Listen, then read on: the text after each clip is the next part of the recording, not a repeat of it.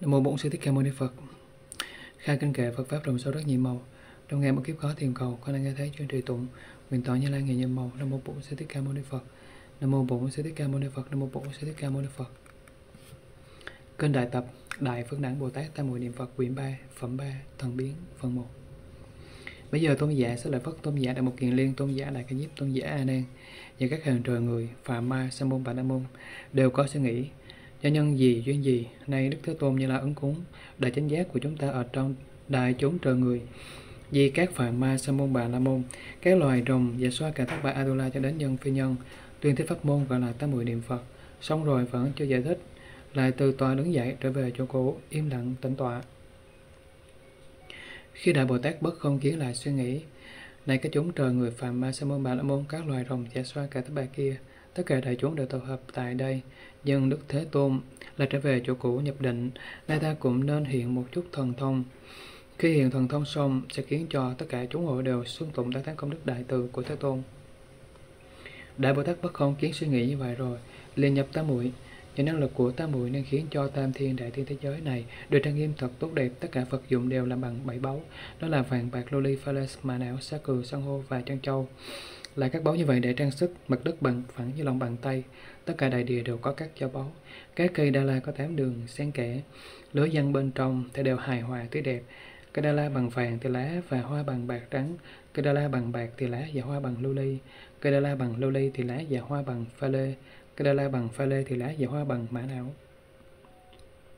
Cây đa la bằng mã não thì lá và hoa bằng sa cừ, cây đa la bằng sa cừ thì lá và hoa bằng san hô, cây đa la bằng san hô thì lá và hoa bằng chân châu. Cây đa la bằng chân châu đỏ thì lá và hoa bằng vàng rồng. Như vậy ở mọi nơi đều treo lồng tơ năm màu, được các linh vàng, lưới báu, cờ phướng, tất cả đều làm bằng các báu xen kẽ nhau. Đã đem các thứ ấy bao bọc chung quanh. Chỗ ở của Đức Thế Tôn có rất nhiều loại hoa quý tươi tốt, như là hoa ưu bát la, hoa ba đầu ma, hoa cao vật đầu, hoa phân đà lợi, đều có đầy khắp ở trong thế giới này. Ở đây cũng có đầy đủ các sự việc trang nghiêm thanh tịnh, ví dụ như vậy. Bây giờ Đại Bồ Tát bất không giếng nhờ dụng lực của tam muội nên hiện được các sự việc như vậy khiến cho hết thảy đại chúng trong tam thiên đại thiên thế giới này cho đến tám chúng trời rồng và xoa ca thất bát atula kalula khẩn la ma hồ la già nhân phi nhân đều hóa ra tòa sen. Hoa sen báu rất lớn. Hoa sen ấy có đủ vô lượng ngàn cánh bề mờ trong lành giống như áo trời ca da, da lân ni khiến cho chúng sinh đều thấy biết lẫn nhau chờ đều được ngồi trên tòa hoa sen đó.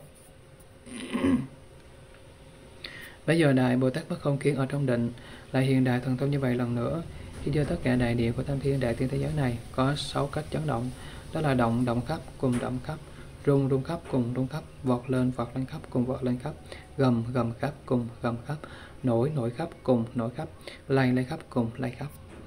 Mỗi cách có ba thứ chấn động hợp lại thành 18 tướng. Như vậy cho đến vọt lên ở giữa thì biến mất ở hai bên, vọt lên ở hai bên thì biến mất ở giữa giống như cái bát đồng tròn đỏ ở nước má dạ đà, đặt trên tảng đá, nghiêng chuyển không định, tự nhiên phát ra âm thanh. Như nơi tam thiên đại thiên thế giới này, không đánh, không gõ, tự nhiên phát ra tiếng. Việc này cũng như vậy, ngay khi chấn động vang lên, các chúng sinh nghe tiếng ấy mà giác ngộ, tất cả đều nhận được sự tiếp xúc an vui, thượng diệu, giống như thế giới bất động ở phương đông. Cũng như quốc độ an lạc ở phương tây, các chúng sinh ở hai cõi đó đều thọ nhận mọi sự diệu lạc. Việc nghe tiếng mà được an lạc cũng là như vậy. Khá Đại Bồ Tát bất không kiến ở trong tam muội tâm trở nên thanh tịnh, không có cấu dục, độc. Tùy thuận điều hòa, dịu dàng sẽ liền không giữ, phấn lặng, không biến động. Tâm sâu mát, thấm đượm khắp nơi khiến mọi người được, được an lạc. Sau đó lại hiện thần thông như vậy. Khi khắp hư không nơi tam thiên đại thế giới này, tuôn xuống vô số lửa bốc cháy, chứ không làm cho thân tâm chúng sinh bị hủy hoại. Và các chúng sinh ấy lại mong lửa chạm vào thân mình, tất cả đều được nhận sự an lạc thù thắng với diệu giống như tỳ kheo nhập hỏa tâm muội.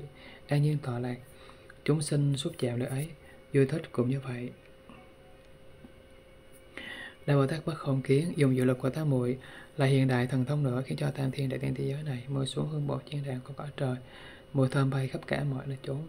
Có chúng sinh ngửi mùi hương này liền được sự an vui thượng diệu bậc nhất giống như Đức Như Lai Thích Ca ứng cúng chánh đẳng giác Thời xa xưa, lúc hành hạnh Bồ Tát ở trước Đức Phật Nhân Đăng, tất cái đạo quả Bồ Đề xong đạt được niềm vui hiếm có, không thể nghĩ bàn.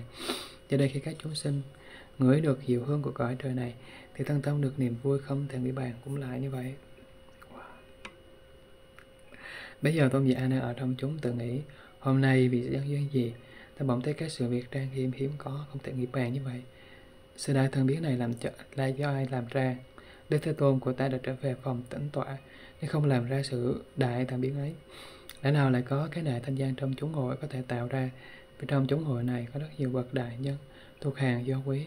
Người làm ra được việc ấy không ngoài các đại Bồ Tát Di lạc dân thù sẽ lợi diệt tam giới, cho đến đại Bồ Tát bất không kiến.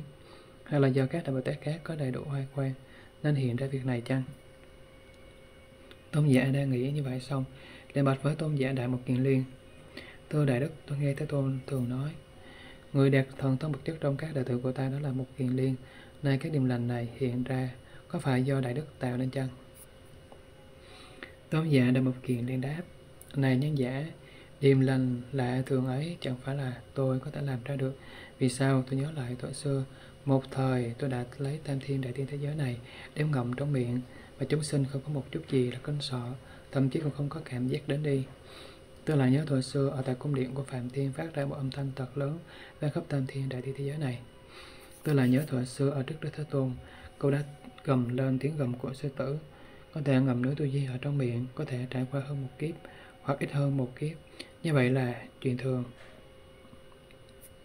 Tôi lại nhớ thuở xưa đi đến thế giới dương diễm. Tại đó tôi đã phát ra âm thanh trùng khắp cả thế giới ấy, nên cho ai nấy cũng đều nghe biết. Tôi lại nhớ thuở xưa ở tại cõi diêm phù đề mới có thể lay động đại địa năng thắng ở con trời đảo lợi Tôi lại nhớ thuở xưa đi đến chỗ ở các lông chưa năng đà ô bà năng đà. Các loài rồng này phun lửa rất độc, mà lúc ấy tôi đã hàng phục được khi cho chúng ăn trụ nơi giới lành. Đồng thời tôi cũng từng khiến ma ác ba tuần phải khuất phục. Tôi lại nhớ thời xưa đi đến phương Đông, đến nơi tam thiên đại tiên thế giới kia. Tại đó có một thành lớn tên Bảo Môn, gồm tới sáu vạn ức ngàn gia đình. Tôi đã ở trong sáu vạn ức ngàn gia đình ấy, và mỗi nhà đều hiện theo một liên.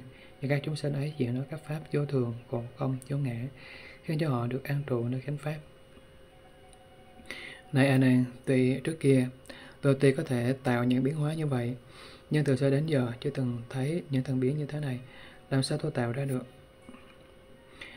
Này A Nan, nơi tôi ở trên tòa hoa sen lớn này, xem xét mười phương vô lượng vô biên các cõi Phật, nơi mà mọi cõi Phật đều thấy Đức Thế Tôn của tôi là Thích Ca đã trở về phòng mình, im lặng tĩnh tọa. Tôi thấy các quốc độ của chư Phật kia cũng như xem thế giới ta bà này. Này anh em vừa rồi tôi cũng dùng thiên nhãn quan sát khắp nơi đã tìm ra nhân duyên của thần biến này, nhưng rốt cuộc vẫn không biết từ đâu đến. Bây giờ tôn giả đã một kiền liên. Vì muốn nêu lại cho đoạn nghĩa này nên nói kệ, tôi đã thành tựu bốn thần túc. Cùng hàng, không ai sánh bằng mình. Chỉ có Thế Tôn Thiên Nhân Sư, người khác thần thông không thể hơn. Tôi từng nuốt gọn cõi Phật này, chúng sinh đại địa chẳng hay biết. Tôi lại đến, tôi lại từng đến cung Phạm Thiên, nói một tiếng vang khắp thế giới. Tôi lại từng ở trước Thế Tôn, nuốt đối tu di dược cải kiếp, tôi phát tiếng lớn ở cõi diêm, khiến cõi Phật này ai cũng nghe tôi làm chấn động cung đế thích nơi ấy chúng thiên nữ đang ngồi lại đến chỗ long vương đang đà hàng phục đại độc long như vậy tôi nhớ tội xưa tạo thần biến thân ở nơi đây hiện phương đông tôi khiến sáu vạn ức ngàn nhà ai cũng đều thấy thân tôi. A nan để tôi đã quán khắp chưa từng thấy đại thần thông này. Riêng tôi cho là rất hiếm có. Nhưng thần biến này tôi không tạo. Để tôi ngồi tòa hoa sen lớn. Cùng thấy chúng sinh ngồi trong hoa.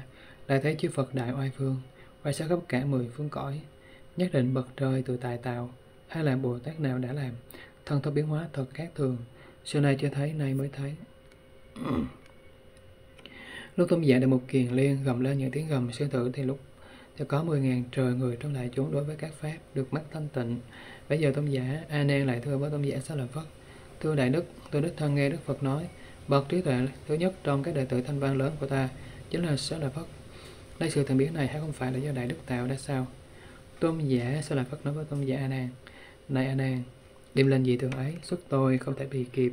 Vì sao tôi nhớ từ 20 năm trở lại đây, như tính còn tổ thập tỳ bà xá na, một lần quan sát còn đạt được tập tướng của Pháp. Nhưng mà không thể biết được biến vật nơi các Pháp.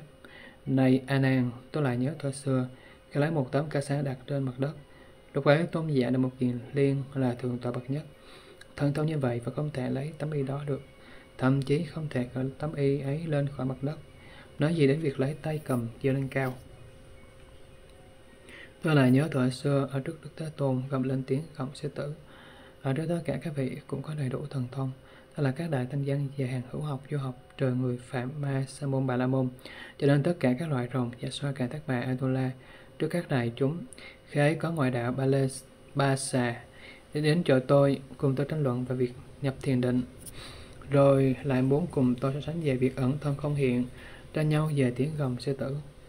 Ngay lúc đó, tôi nêu cao chí trường phu, làm việc của bậc trường phu, mới nói đó là cái việc không thể nghĩ bàn chỉ trừ đức thế tôn là bậc thầy biết, thấy biết tất cả. Cho đại bồ tát di lặc cùng các vị nhất sinh bổ xứ lại trừ các vị đại bồ tát thành tựu pháp nhẫn sâu xa, là trừ các đại bồ tát đã được tam muội hải đức, là trừ các vị đại bồ tát khéo trụ nơi tam muội, là trừ các đại bồ tát được tam muội chư phật hiện tiền, trừ các đại bồ tát này ra, còn tất cả các đại đệ tử thanh văn của thế tôn đều đến hỏi tôi về việc ẩn dấu thân. Cho đến ngoại đạo ba lê ba xà cũng là hỏi tôi khi ẩn mất thân thì trụ ở nơi nào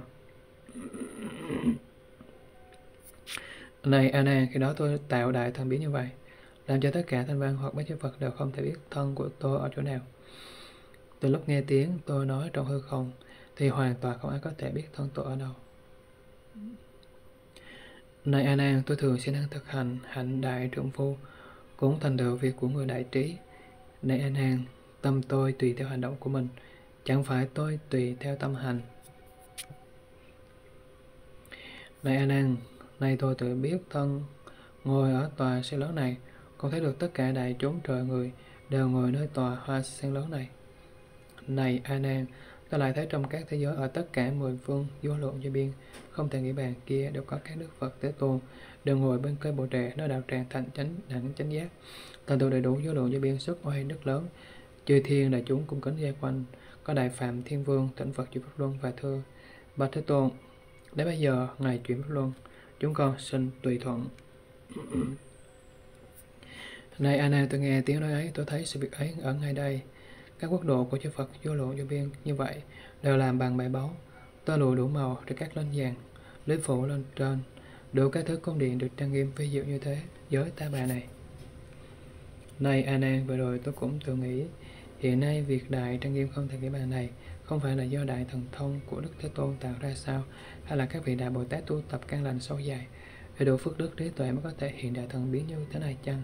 Hay là các đại đệ tử trong chúng thanh văn của Đức Thế Tôn đã trong căn lành từ lâu, có đầy đủ oai đức lớn, đã tạo nên chăng? Bây giờ tôn giả sẽ là Phất gì muốn nêu rõ lại nghĩa này để nói kệ tụng.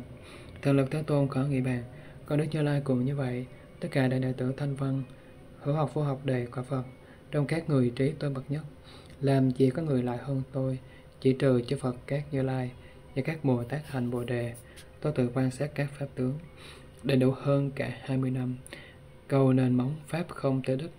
Trí tuệ của tôi hơn mọi người, nếu tôi ở trước Phật Thế Tôn, muốn dùng trí sư tử gầm này, làm cho tất cả các ngoại đạo, cùng là thanh văn muốn thấy tôi.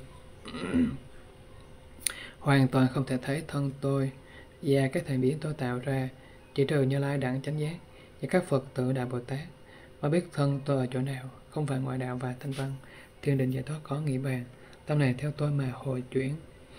Trường phu tôi tu hành trong không, nhân giả nghiệp tôi thường như vậy, tôi có thần thông thủ thắng này, tất cả thanh văn không thể vào. Giờ đây tôi thấy khắp mười phương, thần lực như thế tôi không bằng. Nên tôi ngồi tòa sen, tòa hoa sen lớn, thấy khắp mười phương vô lượng cõi, trong vô lượng cõi đều có Phật, đều đến cây Phật ngồi đạo tràng. Có ấy các báo trang nghiêm lạ, ngay thẳng rất đẹp, rất đáng thích. Khi ấy tôi cũng nghĩ như vậy, đúng như Lai đại hiện thần thông, hoặc đại đệ tử Phật làm ra, hoặc của Bồ Tát bất không kiến.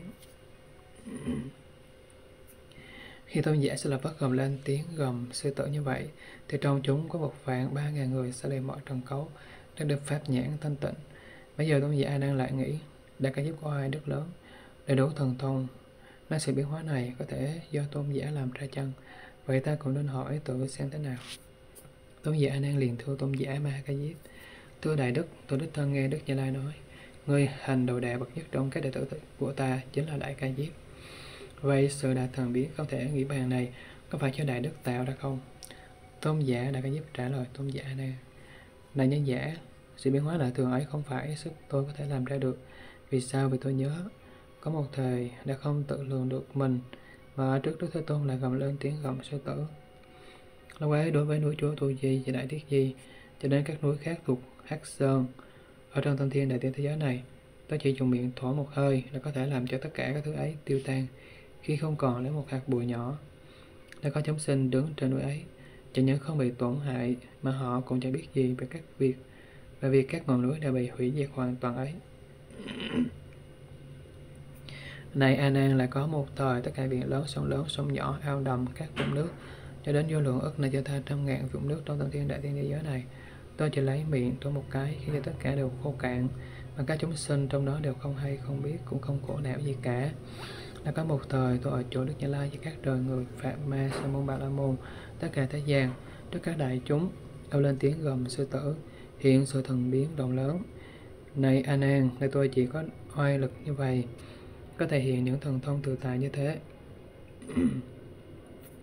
Tôi nhớ có một thời ở trước Đức Như Lai ứng cúng đại chánh giác vì các thế gian trời người phạm ma, sa môn bạc la môn, tất cả đại chúng, tôi là gầm phan tiếng gầm sư tử bạch với thế tôn. Còn có thể ở trong tam thiên, đại thiên thế giới này, dùng miệng thổi liền một cái, khiến cho luồng lửa lớn cháy, thiêu đốt sạch tất cả, giống như ở vào kiếp thiêu. Nhưng mà không làm cho chúng sinh nào bị tổn hại cũng khiến cho chúng sinh hoàn toàn không hay, không biết gì cả. Tôi bạn thân có đủ cách thần thông như vậy. Này a nan tôi nhớ có một thời, tôi dùng thiên nhãn xem thấy ở phương đông, Đã qua ức trăm ngàn thế giới, có một quả phật được giá dữ dội. Khi thấy như thế, tôi liền suy nghĩ, tới nơi thể hiện thần thông. Nghĩ như vậy rồi, tôi liền nhập tham muội. Ở trong tham muội, tôi dùng biện thổi một cái, qua đến ngàn ức thế giới tới phương đông, làm cho ngọn lửa ấy tắt, vụt tắt tới thì. Khi ngọn lửa ấy tắt rồi tôi xác định đi thấy cõi trở lại như xưa. Này anh em bây giờ tôi chỉ có thần lực như vậy. Nên ở trong chúng này có các chúng sinh hoặc trời hoặc người Hoặc phạm hoặc ma hoặc sa môn hoặc bà la môn Và nhiều có tâm nghi cho đến cho, tôi, cho tôi nói dối. Nên họ không tin Vậy hãy chờ Đức Thế Tôn sau khi tự thân mũi đứng dậy. Họ cứ tự ý đến hỏi Đức Thế Tôn. Nhân này Đức Thế Tôn đang, tôi đang nhập tam muội nhưng bạn biết rõ việc này. Cũng như nghe tiếng tôi nói. Bây giờ Đức Thế Tôn vẫn ngồi ở chỗ cũ. Rồi trong tháng muội tôi xa bảo tôn giả nan. Đúng như vậy, đúng như vậy Đúng như tôn giả Đà Ca Diếp đã nói. Và tiếng gầm sư tử là chân thật không hư dối. Tôn giả nên nhớ mà thọ trì. Lúc này chư thiên nhân tất cả đại chúng nghe Đức Phật bảo như thế. Nên đối với tôn giả Ca Diếp phát sinh tâm chư tưởng có khởi lên tư tưởng cho là điều khó gặp được. Khi tôn giả ma ca diếp gầm lên những tiếng gầm sư tử như vậy, có ba ức người ở trong các pháp sẽ lề mọi trần cấu. Đã có tám mươi lăm nên cho tha trăm ngàn chư thiên, cô sẽ lề mọi trần cấu chứ được pháp nhãn thanh tịnh. Bây giờ bồ tát bất không kiến bồ tát di lạc bồ tát giang thù sư lợi bồ tát diệt tam giới. Cái bồ tát này cùng do lộ cho biên các đại bồ tát khác. Từ xưa đến nay đã trang phục bằng áo giáp thệ nguyện rộng lớn. Ngay tôn giả đã cả gầm lên tiếng gầm sư tử, liền hóa ra bó hoa lớn như núi tuổi gì tôi lên chỗ tôn giả ca diếp, đến hai ba lần lai hóa làm diệu lọng bày báo to lớn đứng giữa hư không cho trên đỉnh đầu tôn giả đại ca diếp và cha phụ tất cả chúng đại thanh gian tôn giả đại ca diếp thấy các lọng báu như vậy liền bảo tôn giả a nan này tôn giả a nan bên trong chúng này nhất định có vị đại thừa cao hạnh đại bồ tát mới có thể tạo ra đại thần thông như thế nên hiện được đại thần biến ấy.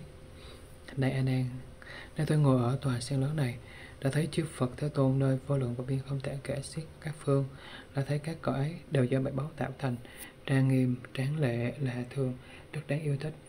Các chúng sinh ở đó là được các quả báo thù thắng tốt đẹp nhất, nơi tôi thấy khắp nơi, giống như ở cõi trời đau lợi, tất cả chư thiên ham tích mã hoa, thương ma chuỗi ngọc, thân sắc của chư thiên như mặt trăng sáng. Ở trên hư không hóa ra lòng báu, làm cho mỗi đỉnh đầu của chúng sinh đều có lòng báu, giống như trên đầu của tôi đang được lòng bảy báu che không có sai khác này a nan tôi là thấy ở cõi nước của các đức phật ấy có các bồ tát từ cõi trời đâu xuất xuống nhập vào thai mẹ. Này a nan khi tôi thấy các việc thần thông như vậy thì hết sức hoan hỷ và sung sướng vô hạn. Này a nan tôi lại nhớ kỹ sự kỳ lạ sự hiếm có như thế. Lẽ nào lại do sự tuyển nghi của hàng chúng sinh tất kém gầm lên được tiếng đại sư tử. Có thể hiện ra những việc thần biến như vậy sao? Bây giờ tôn giả đại Ca Diếp bị nhầm làm sáng rõ nghĩa này, đã nói kệ tụng.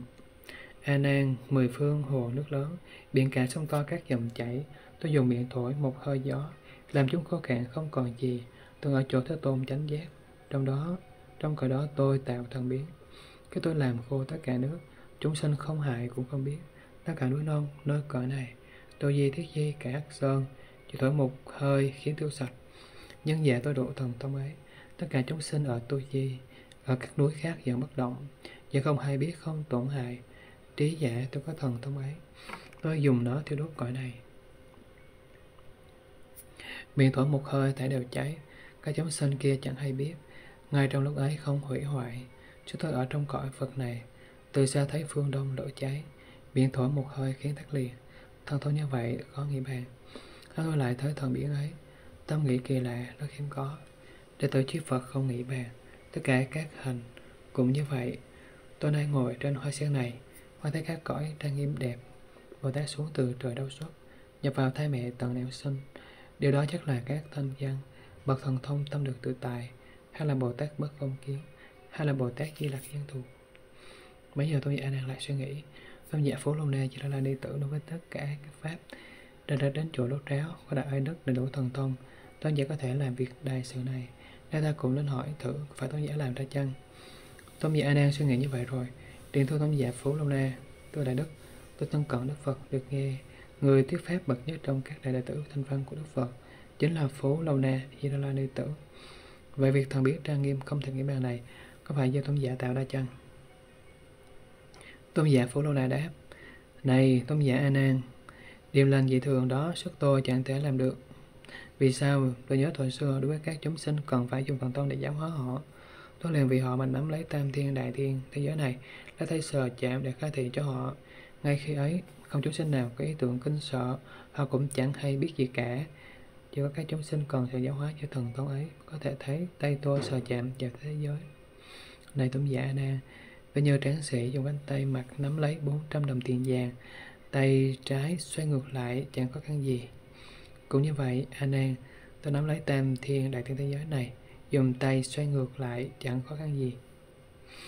Này Tôn giả A Nan, tôi nhớ có một thời ở trước Đức Thế Tôn, ta chỉ dùng một lóng tay lấy được tất cả nước của tam thiên đại thiên thế giới này, khiến chúng chảy vào giữa lòng tay tôi mà không một chúng sinh nào có ý tưởng bị tổn giảm này tống giả A Nan, về một tuổi xưa, trong lúc đầu đêm, tôi dùng thiên nhãn thanh tịnh thấy xa hơn mắt người thường, quán xem tam thiên đại thiên thế giới này, rồi tự suy nghĩ trong thế giới ấy có những loại chúng sinh nào, đối với các pháp tâm sinh nghi hoặc. Ta nên giải thích để trừ bỏ mối nghi ấy. Ta liền xem xét khắp tam thiên đại thiên thế giới, thấy vô lượng chúng sinh ở trong tất cả bốn cõi đều nghi hoặc các pháp. tôi lại xin ý nghĩ, ta nay không lên rời chỗ ngồi này, không lìa định này, bởi vì các chúng sinh đoạn trường lưỡng nghi cho họ. Này tôn giả nàng khi nghĩ như vậy tôi liền nhập định tâm được thanh tịnh sáng suốt thành tựu vắng lặng bất động với các chúng sinh đó mà tiên nói các pháp quyết đoạn trường lưỡng nghi không còn chướng ngại khi cho các chúng sinh ấy đều nghĩ. Hôm nay chúng ta đều nhờ tôn giả phú lô na di la ni tử. Tiếng gọi trước ta vì ta mà thuyết giảng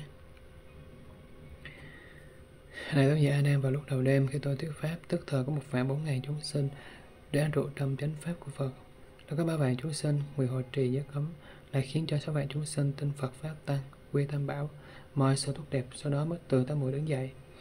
Này tôn giả này tôi chỉ có một có sự thuyết pháp, khéo léo các đức, các sự nghi ngờ khác cho chúng sinh vậy thôi. Này tôn giả anan tôi nhớ lại, tôi lại nhớ ở thế giới này, tôi dùng thiên nhãn quán xem về phương Bắc. Qua ba vạn cõi Phật có một thế giới tên là Phục Quán. Trong thế giới ấy có một chúng sinh phần nhiều gây ngọt đối với các pháp. Chúng sinh ấy có căn tánh thanh chân, cũng dễ thọ hóa. Nhưng đức thế tôn ở cõi đó là niết bàn. Lúc ấy tôi liền nghĩ nay tôi cũng không lên đứng dậy khỏi chỗ này cũng không đến đó. Nhưng vì chúng sinh ấy phải giải thích chỗ nghi cho họ. Nghĩ như vậy rồi tôi liền nhập tam bộ ở trong tam bộ vì thế giới ấy vì với lượng vô biên không thể tính cả tăng kỳ các chúng sinh mà về nói chánh pháp khiến họ được sáng tỏ các pháp này tôn giả a nan Tôi chỉ có đầy đủ sự thần thông của Hàng Thanh Văn. Nên ở trong chúng này, nếu có người nghi ngờ, hãy chờ Đức Thế Tôn xuất hiện, tôi hỏi thì tôi biết. Khi tôn giả nói như vậy, nhờ thần lực của Phật nên từ trên hư không phát ra tiếng nói. Và tôn giả A Nan, này tôn giả A Nan, đúng như vậy, đúng như vậy, đúng như tiếng gầm sư tử của Phú Lâu Na, ông nên nhớ và thọ trì. Bây giờ các chư thiên, người đời chúng Atula, tất cả đại chúng ngay việc này xong đều khởi tâm hiến có, sinh, suy, nghĩ đặc biệt cùng nhau nói, thật là hy hữu. Hy hữu bậc thanh văn có thể kiến lập được việc lớn ấy, huống chi là Bồ Tát chư Phật Thế Tôn. Bây giờ tôn giả Phú Lô Na Di La Ni Tử muốn nói rõ lại nghĩa này đã nói kệ tụng. Vì tuyết giả tôi đều thông đạt, các đầu sinh ra đều diệt trừ, nhờ Phật Như Lai giết sạch cả. Đại tôn thần biến vượt thế gian, ta đấm cỏ này và các núi, dùng tay xoay chuyển hay sờ chạm, nói không động một chúng sinh. Tôi chỉ có xuất thần thông này, cái dòng nước tam thiên thế giới, có người hoặc thấy hoặc không nghe, nước ấy nằm trong kẻ thế tôi, nhưng các chúng sinh không tổn giảm. Rồi đêm tôi dùng thiên nhãn xem, những chúng sinh nào tâm nghi hoặc, mong cầu căn lành và các pháp, muốn dùng thần lực để trường nghi. Khi tôi xin ý nghĩ như vậy, không điều chỗ ngồi cũng không đến. Họ đã tuyên thuyết pháp chánh đạo, khiến họ nghe rồi dứt tâm nghi. Người tôi thuyết pháp như vậy rồi, khi bốn vạn ngàn trụ chánh pháp, ba vạn người gìn giữ giới cấm, sáu vạn chánh tính thọ tâm quy, tôi lại nhớ vào lúc đầu đêm, phóng sức thần thông thật phi diệu. Quán xem ba vạn cõi phương Bắc, tới một cõi Phật nên phục quán. Các chúng sinh trong cõi Phật ấy chỉ có một người rất nghi hoặc. Tôi tuy không đến chỉ tuyên thuyết, khiến người ấy bảo riêng mình nghe, A Nan biết tôi chân chánh chánh thế. Thần thông như vậy, Phật tự biết. Chúng sinh nếu có ai gây hoặc, thì nên quyết định hỏi Thế Tôn. thế tôi ngồi trên tòa xe này, thấy một Thế Tôn bát Niết Bàn. Phật đó dùng lửa để hoa thiêu. Từ ngoài các phương cũng như vậy. Quán Phật tâm tôi sinh hiếm có, là không thể lường ai làm được chính là Thế Tôn hay Thanh Văn mà tôi thấy Phật đang tận tọa. Bây giờ tôi giả A Nan lại nghĩ Tôn giả La Hầu La là con của Đức Thế Tôn. Đối với tất cả Pháp đã được rốt ráo, có đại oai đức để đổ đại thần thông. Có khi làm ra việc lớn này chăng? Tôn giả A nghĩ như vậy, liền thưa, tôi đại đức ta đích thân nghe Đức Phật nói như vậy. Trong số các đại đệ tử thanh văn của ta, người trên giới bậc nhất chính là La Hầu La. Về sự thần biến trang nghiêm không thể nghĩ bàn này há chẳng phải do Đức làm ra sao? Tôn giả đầu La trả lời Tôn giả A Nan. Này Tôn giả A Nan, Đức Thế Tôn Đại Bi che chở tất cả. Tuy khen ngợi tôi là người siêng năng trị giới, đầy đủ thần thông, nhưng việc thể hiện thần biến hôm nay thật là phi thường, không thể lường xiết được. Từ lúc sinh ra đến nay tôi chưa từng thấy bao giờ, cũng chưa từng nghĩ tới, Đây cũng không phân biệt. Làm sao có thể hiện được thần biến như vậy? Này tôn giả đang sự đại trang nghiệp ấy thật chẳng phải do tôi làm ra. Vì sao tôi nhớ thời xưa chỉ có thần thiên đại thiên thế giới này là rộng lớn như vậy, bao gồm trong ức bốn thiên hạ, trong ức mặt trời mặt trăng, trong ức biển lớn, trong ức núi Tô Chi, trong ức núi Đại Tuyết Vi. Ngoài ra còn có các loài hắc sơn khác. Đêm, tất cả đều để trên đầu một sợi lông. Lúc ấy thân tôi vẫn như xưa. Chúng sinh của công các, tất cả đại địa Tô Di, các núi cho đến biển lớn, và các, các dòng nước chảy ta đều yên ổn không bị va chạm, chấn động, tất cả đều không có sự bức bách, tổn thương lẫn nhau. Này tâm giả A tôi chỉ có thần lực tự tại như vậy thôi. Này tâm giả A tuổi xưa trong một thời, có một thời tôi lấy biển lớn, cái biển nhỏ, sông lớn, sông nhỏ cho đến các khe nước nhỏ ở trong thanh thiên đại địa thế giới này, để tất cả bỏ trong một lỗ chân lông. Ngay lúc đó, thân tôi không bị tổn, chúng sinh cũng không bị hại. Nước ở các biển lớn và các dòng sông cho đến nước ở các khe suối nhỏ thì đều như trước, không sẽ đẩy lẫn nhau. Những người sống ở đó đều biết thân mình ở trong nước. Này anh em, thuở xưa, có một thời tôi ở đây nhập thiền định xong, thức thì đến một thế giới ở phía đông bắc, là chỗ Phật Thế Tôn, tên là Năng Thắng. Oai gồm đủ 10 tôn hiệu như là ứng cúng, chỉ biết tri, minh hành tốt thiện thệ thế nhân giải, do thường sĩ được người đồng phu thế nhân sư Phật Thế Tôn. Tây hiện thân đến Lạ kính, khi Lạ kính xong liền trở về, đến trước vô tịnh phạn tu thành ca Như La của thế giới này, xin một nắm hương bột như đèn. Sẽ được hương rồi lại đem đến cúng dường Đức Thế Tôn quả Phật ấy. Mùi hương bay khắp. Ngay khi đó bị Đức Phật đang tán ngoài kia, tòa há là một lầu quán, hình tướng cao thẳng độ sổ phân minh, có một vàng do tuần, tất cả được trang nghiêm bằng các dấu báu tốt đẹp nhất. Là dùng hương trời làm lòng bảy báu, chỉ lên trên Đức Phật, các một vàng ước tám ngàn do tuần, rộng 8.000 do tuần. Ở thế giới ấy dịch tất cả chúng sinh và mỗi người là hóa làm lầu quán chiến đàn. Hình tướng cao thẳng, các 100 do tuần, rộng 50 do tuần, bốn trụ vương vức tùy ý vui thích, khiến cho các chúng sinh kia cảm thấy đầy đủ sự trang nghiêm. Mọi người đều không xô đẩy, làm chướng ngại nhau. Thưa tôn giả dạ nàng, tôi chỉ có thần thông thanh văn, rốt ráo đạt đến bờ giác như vậy. Nên ở trong chúng nếu có người đối với tôi lòng sinh nghi hoặc thì cứ tùy ý thưa hỏi Đức Thế Tôn. Đức Thế Tôn thì ở chỗ tịch định nhân vật giáo biết việc ấy. Bây giờ tôn giả Lào La muốn nêu rõ lại như này. Nó nói kệ, tôi từng nắm tam thiên thế giới, trong bức bốn thiên cùng tiết vi, để vào để tất cả vào lỗ chân lông. À, A Nan tôi có sức như vậy, diêm phù đề này lớn như thế. Tất cả ở nhưng không biết nhau, tất cả đều vào lỗ chân lông. À, A Nan tôi hiện sức thần tông, núi tu dê này rất cao rộng, tiếc phi các núi không tuyệt nghi, thể đều để vào lỗ chân lông. A Nan biết xuất thần thông tôi, tất cả thể đều không biết bách, mà thấy vào trong một sợi lông. Lúc đó thân tôi không biết mỏi, chúng cũng không biết ở sợi lông. Các hồ nước tam thiên đại thiên, các rành các sông và biển lớn, một hơi hút hết đặt trên lông. Tôi chỉ có đại thần thông ấy. Các vùng nước như vậy cõi này, biển lớn, các sông và địch nhỏ, tất cả chạy thấy đều chẳng hay biết. Khi tôi để chúng lỗ chân lông, anh tôi tạo thần thông này. Xưa nhiều lần hiện ở trước Phật, trong chúng đã có người nghi hoặc, nên hỏi Như Lai sẽ tỏ tường. A Nan, tôi tại hoa sen này thấy mười phương các Bồ Tát ấy. Thí bỏ đầu mắt và vợ con, chỉ cầu đạo Bồ đề cho thượng. Thời biết này tôi thấy hiếm có, chắc là Thế Tôn đã làm ra, hoặc bất không kiến hay di lạc, hoặc là đại đệ tử thanh văn. Lúc tôn giả lầu la gầm lên, những tiếng sư tử như vậy. Có 87 ức 100 ngàn nó do tha các trời người. Ở trong đài, chúng sẽ lìa trần cấu. Được bắt pháp sáng trong các trời người ấy. Đã được pháp rồi. Dù một hương trên đàn cõi trời thành kính tung lên trên tôn giả lầu la đến hai ba lần.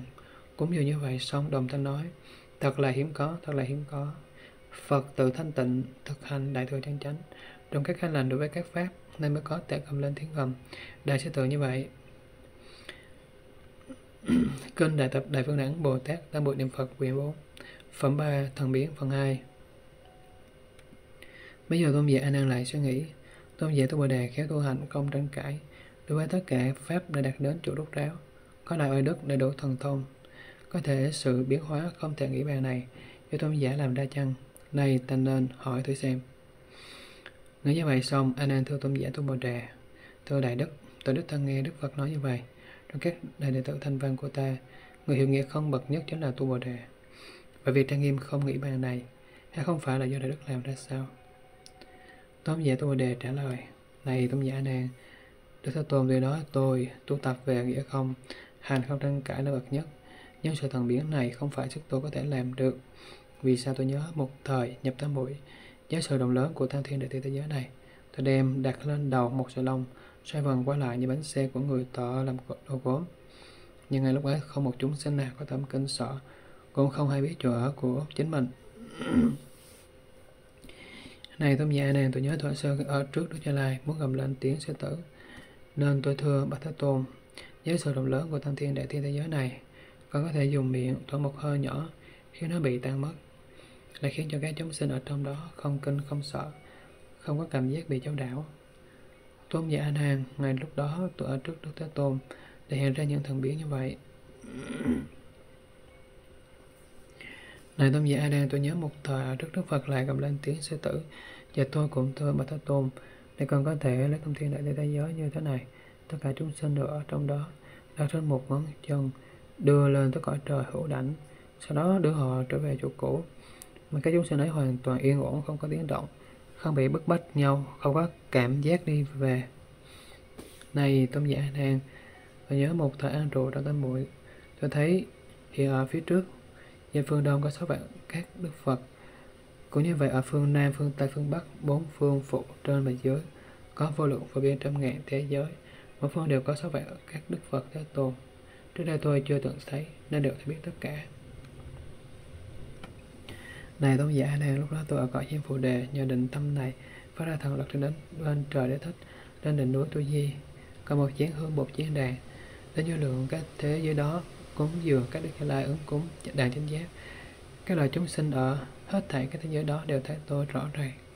Đứng trong cõi diêm phù đề này mà cúng dường, tôi sợ các đức thế tôn ấy, họ biết tôi là thường tọa tu bồ đề để đệ tử thanh văn của đức thích ca mâu ni như lai ứng cúng đàn chánh giác. Ở cõi ta bà Đối với các pháp môn tam muội không vô tránh, tôi là bậc nhất. Này A Nan, tôi đã đạt được thần tôn lúc đáo này, tên tôi đã đổ thần tôn ba la mật. Này tôn giả A Nan, nay hoặc trời hoặc người hoặc phạm hoặc ma hoặc sa môn hoặc bà la môn ở trong chúng này đối với điều tôi đã nói mà có lòng nghi các bé có thể đến hỏi đức thế tôn là thầy của tôi khi đang tỉnh tọa sẽ sẽ dẫn biết cho tôi bây giờ nhờ thần lực của phật ở trong không? Trung phát ra âm thanh lớn. Bảo công giả này này a nan đúng như vậy, đúng như vậy. Đúng như thượng tọa tu đề vừa rồi cầm lên tiếng sư tử. Tôn giả nên thọ trì như vậy. Khẽ các trời người phạm ma sa môn bạn la môn, thấy nghe việc ấy xong, lòng lại thân đều giận đấng phát tâm hy hữu, đạt được điều chưa từng có, cùng nhau nói. Thật là hiếm có, thật là chưa từng thấy việc lớn như vậy. Bao giờ? Cho đến các đệ tử của đức thế tôn, còn có thần thông thù tán vi diệu sức đại oai đức huống gì là cảnh giới thần thông tam muội của chư phật, mà có thể suy lượng có thể tuyên tuyết được sao?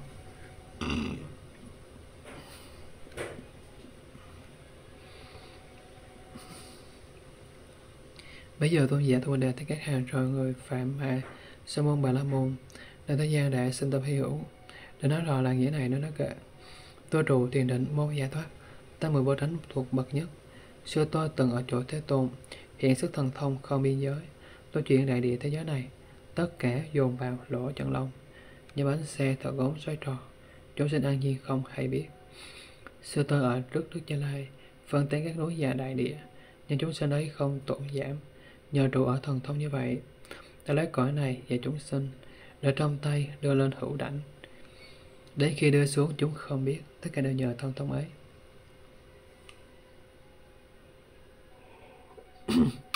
Tôi thường nhập định quán phương Đông. Đã có 6 vạn cái thế tôn, phương Nam Tây Bắc cũng như vậy, số vạn Như Lai không hề thiếu, lại bốn phương phụ và trên giới, chư Phật cũng đủ 60 ngàn. Thân tướng sắc vàng đều như nhau, tôi lấy hương trời tôn rải gấp, khi các chúng sinh đều thấy biết, đều nói ta có tu bồ đề, còn cái thế tôn mâu ni này, trong thiền tâm văn là bậc nhất. Tôi tôi cầm lên tiếng sư tử, nói có nghi xin hỏi Phật, Phật phát tiếng lớn mới bảo rằng, Đúng vậy, anh nên nên thọ trì. Tâm tôi, tâm diệt, tôi diệt tâm ngã và chúng sinh, cho đến tưởng Phật không còn sót, hạnh không vô tránh không ai bằng. Tôi thật trụ tham an đời này. Phần bốn thần thông của Bồ Tát Di Lặc Bây giờ Bồ Tát Di Lặc tự suy nghĩ, các cháu đệ tử đại thanh dân của Đức Thế Tôn có, có hai đức lớn, là độ thần thông, ai cũng tự trình bày tiếng gầm sư tử của mình. Nên ta cũng nên đối với các cái hàng trời, người, phạm, ma, sa môn, ba la môn, đối các đại chúng của tất cả thế gian này thì một chút thần thông của Bồ Tát. Bồ Tát Di Lặc nghĩ như vậy rồi, liền nói với Tôn giả A Nan Tôi nhớ thời xưa, có lần vào lúc sáng sớm mặc yêu ôm mát đến chỗ Đức Thế Tôn, định là dưới chân Phật và thưa, bạch Thế Tôn nó con muốn vào thành vương xá này như pháp có thật. tôi như vậy xong, tôi liền ra đi này Tôn giả A Nan, hôm đó tôi là nghĩ, hôm nay nhà nào thí đồ ăn cho ta trước tiên, ta cần phải làm cho người ấy ăn trụ nơi vô thượng chánh đại chánh giác trước sau đó mới nhận các món ăn của người ấy. Là tôn giả A Nan khi nghĩ như vậy rồi tôi liền vào đại thành. Thế tôi đi khất thực, khi đến một nhà đại tánh Bà La Môn, đứng im lặng trước cửa. Này tôn giả A Nan vì đại tánh Bà La Môn ấy biết tôi đi khất thực. Thế tôi đứng im lặng, liền thưa lành thầy A Giật Đà, thánh giả A Giật Đà, hôm nay bị có gì mà hạ cô đến đây? Thánh giả cần gì? Mong thánh giả thầy nhận đồ ăn của con. Tôi liền bảo bà la môn ấy này đại bà la môn. Hôm nay nếu ông có thể gieo trồng căn lành nơi đạo vô thượng chánh đàn chánh giác, thì sau đó ta mới nhận độ dân cúng của ông.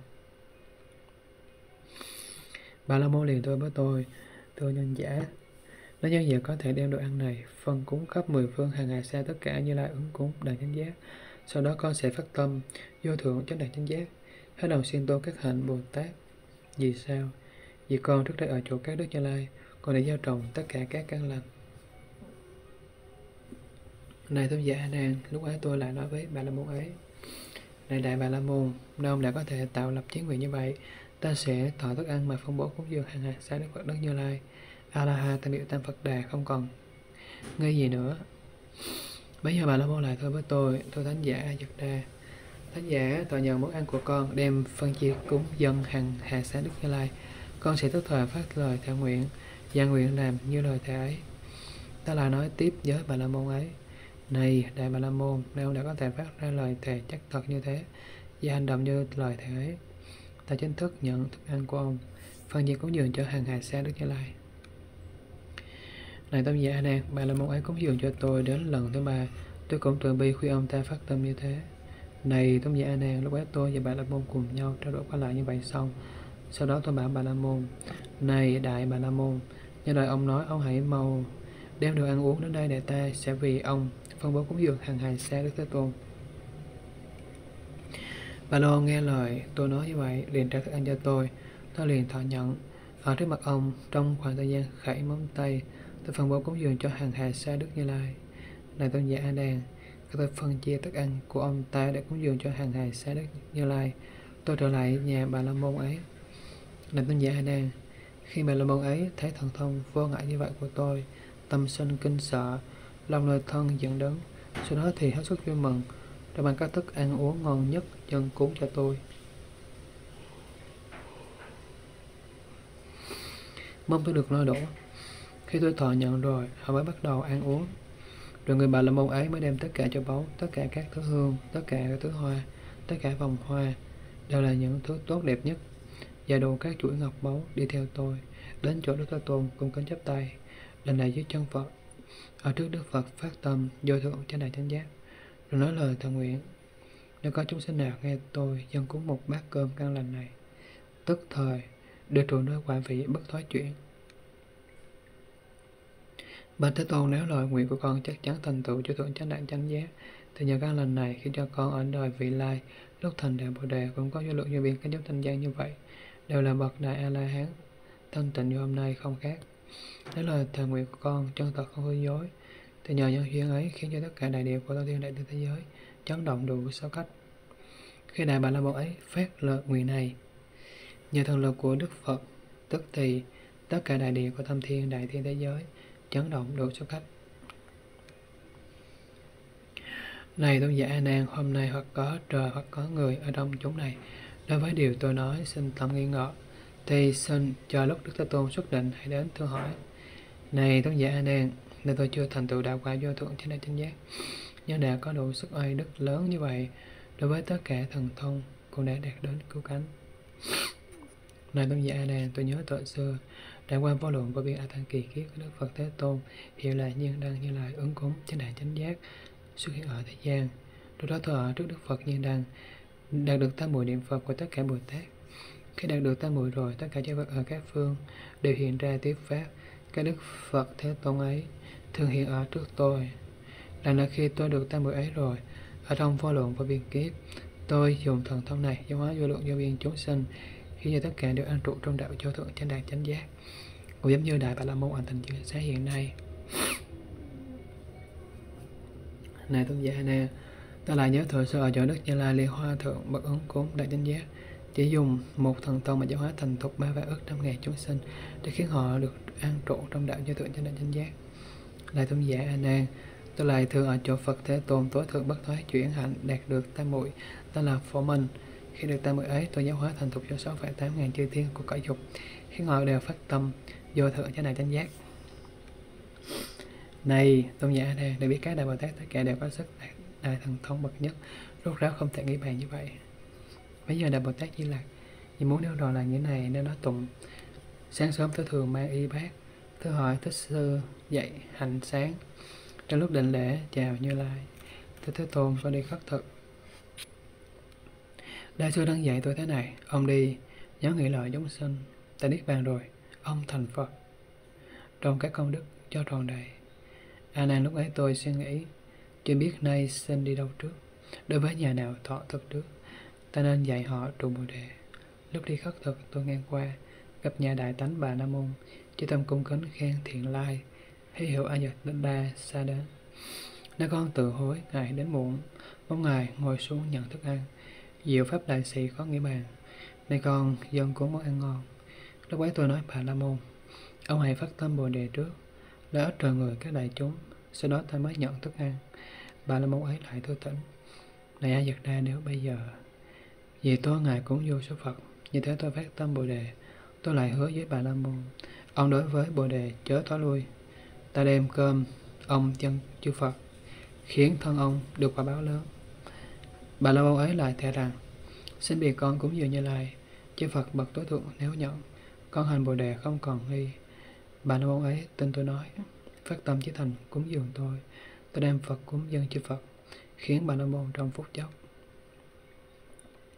Đã thấy được đại thần thông của tôi, vừa sợ vừa mừng thêm độ ngon, cúng dường tôi rồi đến chỗ Phật, lại phát tâm Bồ Đề Vô Thượng. Khi Bà La Môn phát tâm xong, lại thề rộng lớn có nghĩ bàn, nếu có Bồ Tát nào nghe được đối với thế giới mau thành Phật, sư tôi ở trước Phật Nhiên Đăng, đạt được tâm mùi thắng bí diệu, gọi là Bồ Tát niệm cho Phật, hai ban diệu là khó nêu lường. Sư tôi ở chỗ Phật Nhiên Đăng, khi được tam muội thắng dịch niệm này, ta liền được thấy Phật mười phương. Nhờ ai Đức Phật nên thấy được. nó hai trụ trong tam bội ấy, hay hiện cho biên các thần biến, các việc làm trăm tăng kỳ kiếp, đều vì đỡ cho chúng sinh. Tôi ở chỗ Phật Liên Hoa Thượng, chỉ được tam bội hiện thần thông, để độ bảy vạn các chúng sinh, cho tôi mà trụ đạo Bồ Đề. Tôi ở trước Như Lai Tối Thượng, xin đang tinh tấn tu phạm hạnh, đã được tam bội sinh thật tốt hay cho sự vui khó kẻ lường tôi ở chỗ phật tối thượng hạnh, được một tam muội tên phổ minh. Khi phật nhật, khi phật nguyệt thượng trụ thắng hiền, đọc lại khi phật nguyệt thượng trụ thắng thiền, đức phật ca diếp được đền sâu đa năng đại thần thông như vậy. Đều là thọ xưa tôi thành tựu, dùng sức thần thông tự tại ấy. Tôi đã tu thay các như lai nếu ai muốn thay các thế tôn, muốn chỉ bánh xe pháp vô thượng mà cô chúng sinh khỏi biển khổ. Nghĩa đến học diệu định này bây giờ ở trong chúng hội, các hàng phà ma, sa môn bản la môn trời người adula là tất cả thế gian đều được nghe tiếng gầm sư tử của đại bồ tát như là thảy vui mừng sinh tâm kỳ lạ đặc biệt, đều khen lại chưa từng có. Phẩm năm, khen âm thanh vi diệu biện tài tu tán của phật. Phần 1 Bây giờ Đại Bồ Tát Bát Không kiến tới các đại chúng trời người phạm ma, sa môn ba la môn, các loài rồng gia xoa cả tất bài adula đây là điều chưa từng có, sinh tâm kỳ lạ đặc biệt. Hoặc có lúc kính sợ, lòng lực thân dẫn đứng. Hoặc vì thấy được việc này mà nhất tâm an nhiên, nên từ tâm mũi đứng dậy và hướng giả an an này đại đức, lành thay lành thay, chư Phật Thế Tôn thật là hiếm có, rất là hiếm có. Vì sao? Vì các đức như lai ứng cúng, đặng chánh giác đều có, đều luôn có tâm đại từ đại bi, đầy đủ vô lượng các công đức. Là tôn giả nàng các đức như lai ứng cúng đặng chánh giác khi đã thực chứng đạo quả bồ đề. Các vị đều hiểu rõ tất cả các pháp không có sinh tất cả các pháp không tạo ra, biết các pháp không thể nắm bắt được. Sau đó ở tại thành ba la nại trong rừng lộc uyển, chỗ ở của tiên ngày xưa, ba lần chỉ bánh xe 12 hành diệu pháp vô thượng. Nhưng pháp luân này, từ đầu tôi chưa hề thấy tất cả thế gian, hoặc trời, hoặc người, hoặc phạm, hoặc ma, hoặc sa môn, hoặc ba la môn có thể như pháp mà chuyển được như vậy. Những gì gọi là ba lần chuyển pháp sao gọi lại gọi là 12 hành? Đây, đó là đây là khổ đây là tập hay là khổ diệt. Đây là khổ diệt đạo cho đến. Khổ này đã biết tập này đã đoạn diệt này đã chứng đạo này đã tu. Đó là ba lần chuyển. Ba lần chuyển như vậy gọi là 12 hành. Lại nữa đây là tám thánh đạo phần. Trong đó có vô lượng chữ viết do lượng tên câu do lượng ngữ ngô âm thanh do lượng nghĩa lý sâu xa do lượng giải thích xong nói nghĩa này, chỉ nhằm để khai thị, để luận nghĩa, để phân biệt, để hiển bày nghĩa thâm diệu, để dễ biết, để được đầy đủ. Bây giờ là bồ tát bất không kiến là bảo tôn giả a nan. Này tôn giả a nan, cho nên tôi nói, chư phật thế tôn, thật hết sức hiếm có. Cái đức như lai ứng cúng là chánh giác, có tâm từ bi rộng lớn, đầy đủ công đức. Cái đức phật thế tôn đã chứng được vô thượng chánh đạn chánh giác rồi sau đó vì các chúng thanh văn ở trong không có giáo pháp ấy, mới dùng giáo pháp để nói. Trong pháp không lời, mới dùng lời để nói. Ở trong pháp không tướng, mới dùng tướng để nói. Ở trong các pháp không chứng đắc, đó chỉ dạy chứng đắc. Tuy không có ngôn ngữ để nói, tướng màu để đạt được, nhưng các bậc trí đều đại giác ngộ, các bậc hiền thiện cũng được chứng biết. Các a la hán đều được giải thoát. Đối với sinh tử từ từ từ vô thủy lại nữa này tôn giả a đang ví như có người ôm một bó cỏ rồi nói, muốn dùng nó chặn đứng dòng nước lớn của sông Hằng. Ý tôn giả thế nào? Người có làm được chăng? Tôn giả a đáp, đại sĩ, thưa đại sĩ, không được. Vì sao vì điều ấy? Làm không đúng với sự đời. Nói chuyện đến chuyện được hay không? Bồ Tát Bất Không kia nói đúng vậy này tôn giả A Nan. Đức Như Lai bậc ứng cúng là giác giác về các thanh văn nên đối với pháp không lời, lại dùng lời để nói. đối với chỗ không danh tướng thì dùng danh tướng để nói. Việc này cũng như vậy. Lại nữa này, tôi giả đang ví dụ có người vốn không có miệng lưỡi, mà muốn dùng một tiếng nói vang khắp cái thế gian, để ai cũng đều nghe biết. Ý tôn giả thế nào, người ấy có làm được không? Tôn giả đang đáp thế này sĩ, không được vì sao vì việc người ấy làm không hề có ở thế gian, nó chỉ đến chuyện được hay không. Bồ Tát Bất Không Kiến nói đúng như vậy tôn giả A Nan Đức Như Lai bậc ấn cúng là chánh giác bị các thân văn trong cái không lời để nói lại dùng lời mà nói. Giới pháp không danh tướng, dùng danh tướng để nói, việc ấy cũng như vậy. Lời nói này tôn giả A Nan bây giờ có người tay cầm cây bút đẹp, muốn viết lên hư không, mong thành chữ viết đẹp. Ý tôn giả thế nào người có làm được không? Tôn giả A Nan đáp theo đại sẽ không được vì sao? Vì việc ấy làm ngược với thế gian. Sao lại hỏi được hay không? Bồ Tát Bất Không Kiến nói đúng như vậy. Tôn giả đàn Đức Cho Lại bậc ấn cúng là danh giác Vì các thanh văn nên trong Pháp không lời là dùng lời để nói. Với Pháp không danh tướng, dù danh tướng để nói. Việc ấy cũng như vậy. Là nữa này tôn giả A Nan với nhiều có người vốn không có tay chân từ lúc sinh ra cũng không chú thuật kỹ năng mà nói to tôi có thể gánh núi chúa tôi gì ý tôn giả thế nào? Người có làm được chăng tôn giả này đáp theo đại sĩ, không được. Điều người ấy nói ngược với thế gian. Sao lại hỏi được chăng? Bồ Tát Bất Không kia nói đúng như vậy, Tôn giả A Nan Đức Như Lai bậc ứng cúng chánh đẳng đẳng chánh giác. Chỉ cái thanh văn nên trong pháp không lời là dùng lời để nói. Với pháp không danh tướng là dùng danh tướng để nói. Người ấy cũng như thế. Lại nữa này Tôn giả A Nan cũng như có người đến bên biển lớn cầm một tấm ván hoặc mang một chiếc bè con hoặc muốn tự mình lội qua hoặc muốn mình được nổi. Nên gái rộng bày phương tiện, nói như vậy, tôi qua biển cả. Lên tới bờ bên kia, ý tôn giả thế nào, người đó có làm được chăng? Tôn giả nên đáp, thưa đại sĩ, không được, vì tất cả thế gian vốn không cái việc này sao lại nói được hay không? Bồ Tát bất không kia nói, đúng như vậy an an đức như lai bậc ân cúng đằng chánh giác và các thanh văn nên đối với pháp không lời là dùng lời để nói với pháp không danh tướng là dùng danh tướng để nói. Nghĩa ấy cũng vậy. Bây giờ là bồ tát bất không kiếm muốn làm rõ lại nghĩa này, nói kệ tụng. Chư phật đại từ có nghĩa bàn thường đáng lòng thương so tất cả do lộ ức nên do thai kiếp, chánh giác, pháp môn so như vậy. Bản tánh các pháp không chỗ sinh, nhân duyên tập hội không đến đi, do thượng thiên sư tuy khéo nói nhân tự tánh thường là vắng lặng chánh pháp chư Phật khó lường xét. Thế Tôn tự ái nên chuyện nói. Hay mà pháp khó thấy như vậy, Lợi ích thế gian các trường người. Pháp không thể nói khó được nghe. Mười lục dùng mảnh nên rộng tuyết cho đó đạo tăng lương tối thượng, An hồn chúng trời người thế gian. Thế Tôn khéo nói Pháp vô tướng, Không thấy tự nhiên mà giác đi, phá trừ tất cả các ngoại đạo. Phan Phúc chẳng biết sự thật này. Biển trí chư Phật khó lường tính Tiếng nói Pháp giới cũng vô tận, tất cả thanh văn đều đại chứng. Khai thể chuyển biến không nghĩ bàn. Như người đem cỏ bích sông hằng. Tôn giả tôi cho chẳng làm được. Chánh giác chuyện xe vô sinh kia, tôi cho việc ấy mới khó hơn. Nếu người tay cầm bút nó màu, hòa hư không vô số màu sắc, trong không lời nói dùng lời nói, tôi cho điều ấy khó hơn kia. Có người không tay cũng không chân, mong cộng tư duy qua biển cả, trong pháp không tướng chuyển sự tướng. Tôi do việc ấy khó hơn kia. Các người không lỗi cũng không miệng. Muốn một tiếng vang xa khắp cõi. Trong pháp không chứng khiến có chứng tôi cho việc ấy khó hơn kia. Bây giờ tôn giả đại bồ tát bất không kiến bậc tôn giả a nan. Này tôn giả cái đức phật như lai bậc ân cúng đặng chánh giác rất là hiếm có đối với vô lượng a tăng kỳ kiếp. Biết rõ thông đạt tất cả các pháp rút ra được và kia hiểu là phật thế tôn dân các đức như là ứng cúng đại chánh giác. Lại tùy thuận các căn sai biệt của chúng sinh và tùy theo chỗ ưa thích âm thanh vi diệu tự nhiên xuất hiện.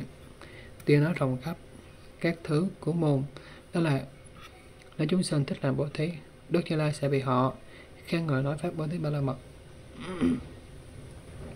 Kể cũng hiểu là đức thế tôn vì mình mà nói pháp thí nếu có chúng sinh ưa thích tu tập giới cấm đức như lai sẽ bị họ tán dương nói về giới ba la mật Ngài cũng hiểu là Đức Như Thế Tôn đã vì mình nói về giới pháp. Nếu có chúng sinh ưa thích tu hành nhẫn nhục, Đức Như Lai sẽ bị họ tán dương nói về nhẫn nhục ba la mật. Cái cũng hiểu được là Đức Thế Tôn đã vì mình nói pháp nhẫn nhục. Nếu có chúng sinh ưa thích tu hành tinh tấn, Đức Thế Tôn như là Đức Như Lai sẽ bị họ tán dương nói tinh tấn ba la mật. Cái cũng hiểu được là Đức Thế Tôn đã vì mình nói pháp tinh tấn.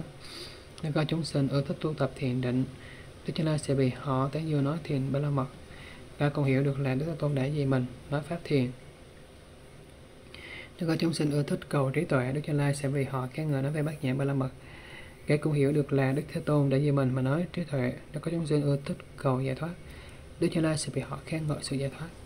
Cái cũng hiểu được là Đức Thế Tôn đã vì mình mà nói sự giải thoát. Nếu có chúng sinh ưa thích tu giải thoát tri kiến, Đức Như Lai sẽ dạy họ khen ngợi về sự giải thoát tri kiến. Cái cũng hiểu được là Đức Thế Tôn đã vì mình mà nói sự giải thoát tri kiến. Nếu có chúng sinh ưa thích sẽ lên cõi trời, Đức Như Lai sẽ bị họ khen ngợi nói pháp sẽ lên cõi trời. Cái cũng hiểu được là Đức Thế Tôn đã vì mình mà nói về pháp sẽ lên cõi trời. nếu Có chúng sinh ưa thích tu pháp vô thường, Đức Như Lai sẽ bị họ khen nói pháp vô thường. Ngài cũng hiểu được là Đức Thế Tôn đã với mình và nói về pháp vô thường hoặc có những kết chúng sinh tu về khổ hạnh. Đức Như Lai sẽ bị họ khen ngợi, nói về khổ hạnh. Họ cũng hiểu được là Đức Thế Tôn đã vì mình mà nói về pháp khổ hạnh. Hoặc có các chúng sinh tích tu về vô ngã. Đức Như Lai sẽ vì họ khen ngợi nói về vô ngã. kẻ cũng hiểu được là Đức Thế Tôn đã vì mình mà nói về pháp vô ngã. Hoặc có các chúng sinh tích tu về sự giác lặng. Đức Như Lai sẽ vì họ khen ngợi nói về pháp vắng lặng. kẻ cũng hiểu được là Đức Thế Tôn đã vì mình mà nói về pháp vắng lặng. Và có các chúng sinh thích tu pháp bất tịnh, Đức Như Lai sẽ bị họ khen ngợi nói về pháp bất tịnh. kẻ cũng hiểu được là Đức Thế Tôn đã vì mình mà nói về pháp bất tịnh. Và có các chúng sinh ưa thích sinh lên cõi trời, Đức Như Lai sẽ vì họ nói về pháp sinh lên cõi trời. Họ cũng hiểu được là Đức Thế Tôn đã vì mình mà nói về pháp sinh lên cõi trời.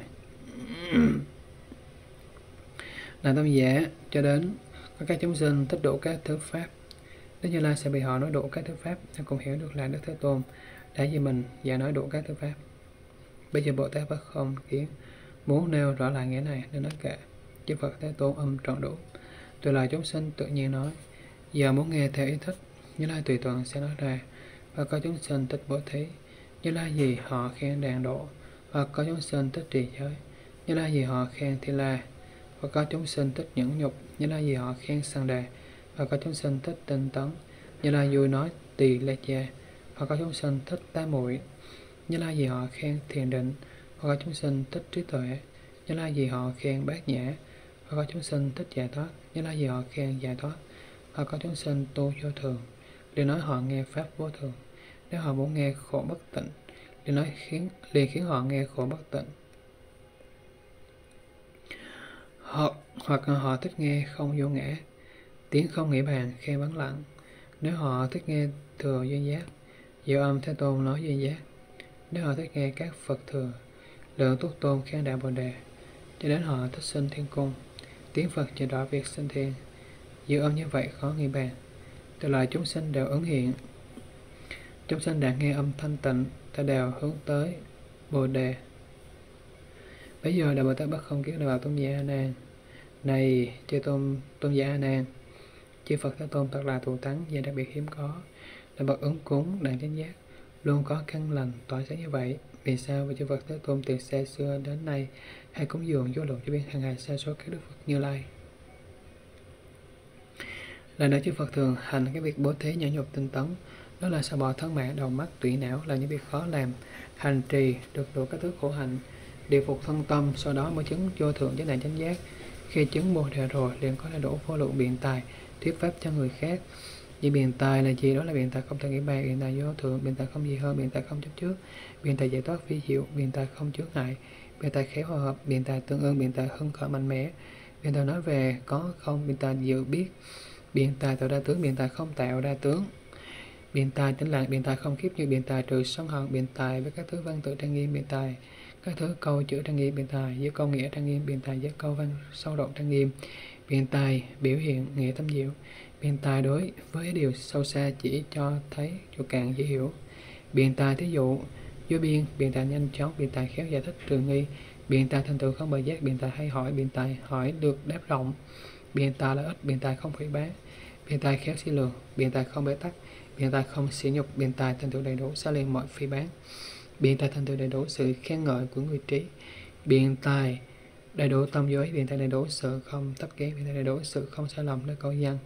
biện tại đầy đủ sự không quên biện tại đầy đủ sự không quên mất biện tại đầy đủ sự tùy tâm thuyết pháp biện tại đầy đủ sự biết người khác với tâm thuyết pháp biện tại đầy đủ sự khai mở sự không quế trượt biện tại hai nói âm cố đầy đủ sự trang nghiêm biện tại đầy đủ sự hay nói về quá khứ biện tại đầy đủ hay nói về hiện tại biện tại đầy đủ hay nói về vị lai biện tại đầy đủ về bậc thánh biện tại đầy đủ về sự biết về diệu trí vô sinh biện tại đại độ có thể khiến tất cả chúng sinh hoan hỷ. Bây giờ đại bồ tát bất không kiến muốn nói lại nghĩa này nên nó kệ cúng dường bậc tối thắng lượng vô số vô biên, hai chấn đạo vô thượng. Đại đạo sư thế gian, rộng tạo các căn lành, được sự khó nghĩ bàn. Vô chướng là vô ngại, vô lượng cũng vô biên. Hòa hợp nghĩa giải thoát, bậc công thắng vô thượng. Kéo nói đức lưới nghi tùy hỏi mà giải thích các thứ giáo bí mật và dùng các ví dụ đầy đủ biện trang nghiêm, tiếng hay, khó lường xét, thanh tịnh đều tương ứng. Quyết rõ pháp an trụ, không nghĩ không thể hoại tâm cũng không sợ hãi. Tiếng hay cùng trí đủ, không kinh không hủy tổn, không lầm câu trang nghiêm, an lạc không quên mất, không lầm các phương hướng lưu tâm tịnh không quế quá khứ cũng không lại, quá khứ cũng vị lai. Hiện tại không chướng ngại, phàm thắng chuyển bình đẳng, biện tài tự mình có xa gần cùng lúc nghe, khi tiếng phật nói ra, nước biển có thể lường giọt nước có thể đếm chư phật đại danh sư biên tài không biên phật. Hư không, đường biên tận, tôi dây dễ cân tính. Thi nhân sư do thượng biên tài sao có lường nam mô bổn sư thích ca mâu ni phật, kênh đại tập đại phương đẳng. Bồ tát tam muội, niệm phật, quyển ba bốn. Nguyện đem cả đất này trang nghiêm Phật tịnh độ. Trên nền bốn ân này, chỉ có khổ ba đường nếu khai thấy nghe để bắt tâm bồ đề hết một báo thân này sanh về cõi cực lạc. Nam mô tây phương cực lạc thế giới, đại từ đại bi, tiếp dẫn đạo sư a di đà phật. Nam mô a di đà phật, nam mô a di đà phật, nam mô a di đà phật, nam mô a di đà phật.